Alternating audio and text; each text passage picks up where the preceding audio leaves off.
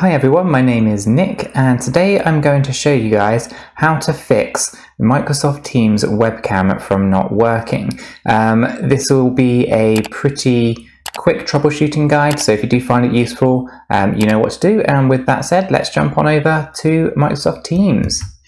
Okay, so here I am just in Microsoft Teams and what I'm going to do is actually just start a new meeting. Um, and what we'll notice straight away is I'm going to turn my camera off, but I'm just going to mute the microphone, and then I'm going to click Join Now. Now, we'll just wait a moment whilst this connects. Um, at the moment, it's trying to actually get a video feed, um, and it's not able to. So straight away, I'm presented with this issue where it says video isn't working. Um, we should we couldn't use your webcam for video, and then just dismiss. Um, so I'm getting this um, pop-up message because um, my webcam is currently in use with a different application. Um, so therefore I need to first of all close or um, turn off the um, video feed in that application. So what I'm going to do is I'm just going to hop over to the recording software and um, remove the video feed.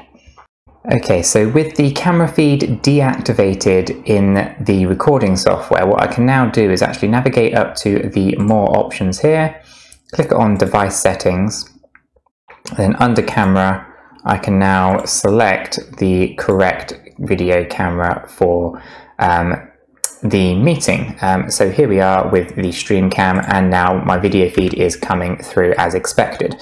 Now, this might not work for everyone, so I'm just going to show you another uh, reason that um, your.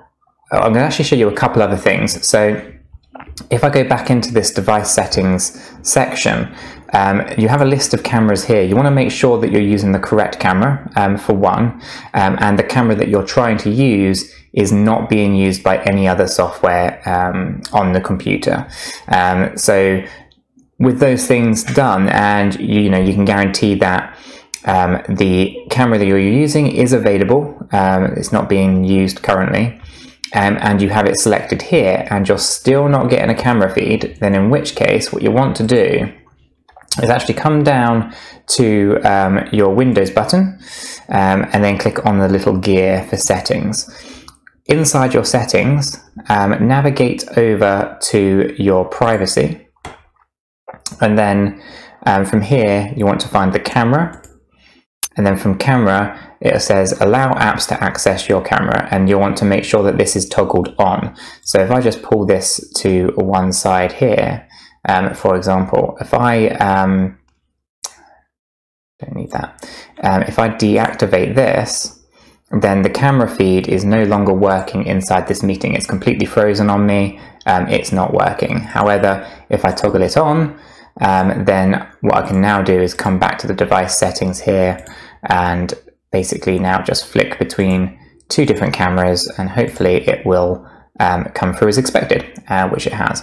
Um, so it all depends on your personal circumstances. Um, for me, if my camera is not working, it's usually because I have it being used in a different piece of software.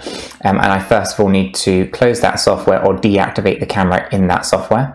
Um, or just check in to make sure that we actually have access to the correct camera here, uh, uh, that the apps have access to your camera, that is.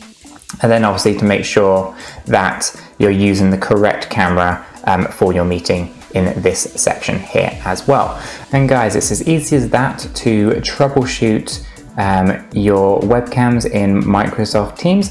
If you found this useful, you know what to do, and I'll catch you guys in the next video.